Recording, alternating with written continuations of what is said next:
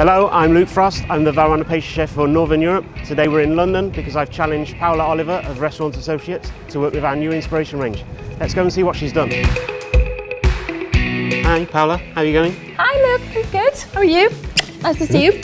So, I challenged you to uh, do some work with the new inspiration range. I love making operas, so I tried to make something. More than anything, I was curious to see if I could use this product just like I use a normal chocolate.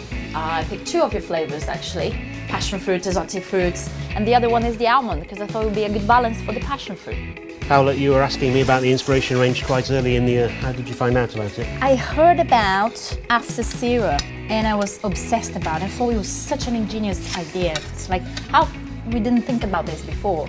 Obviously, chocolate is made of two parts, a solid and a butter. And what you guys did is just amazing. And I was like really looking forward to try it.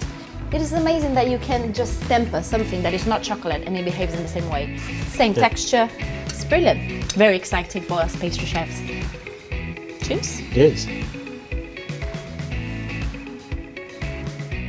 Really, really good.